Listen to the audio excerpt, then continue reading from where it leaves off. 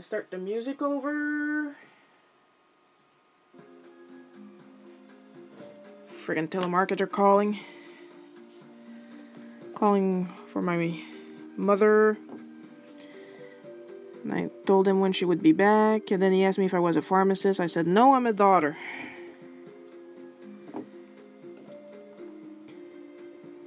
That's what happened when you. Okay, that's me. Okay when you live with your parents and friggin' telemarketers because my parents reach a certain age they think they can call and they can scam them out of things.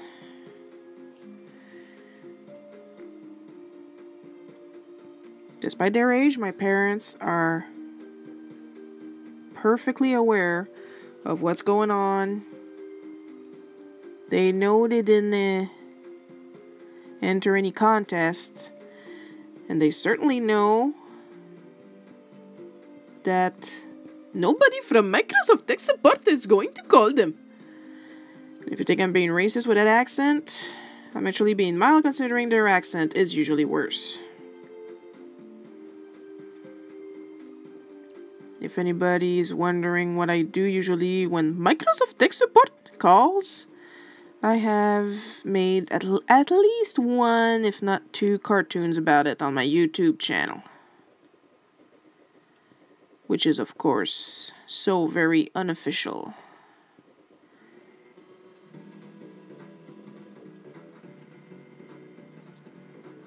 There's a kind of gum going on.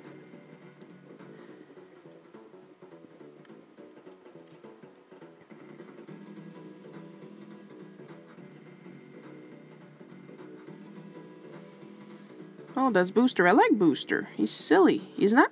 He, he looks mean, but he's not mean. He's just childish.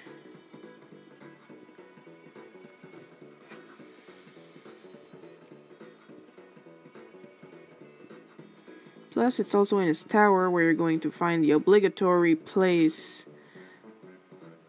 where you can change Mario into an 8-bit version of himself.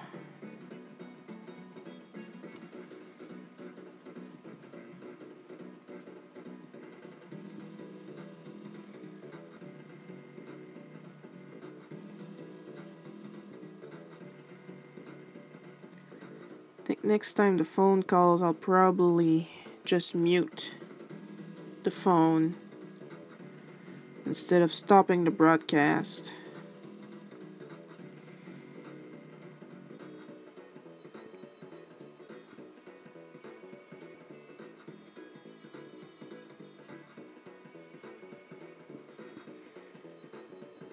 Seeing as I'm almost done with the inking here before I take my real break.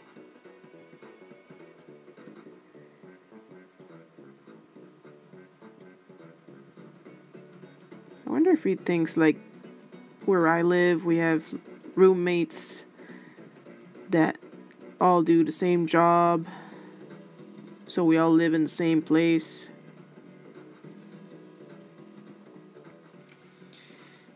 There, that'll do it for now. So I'm going to take my real break. Probably have a little drink or something. And I'm gonna let this dry. Oh, just to do on purpose. So as I was saying, I'm going to let this dry and I'll be back when this is dry and my phone is uh, recharged. See you in a bit.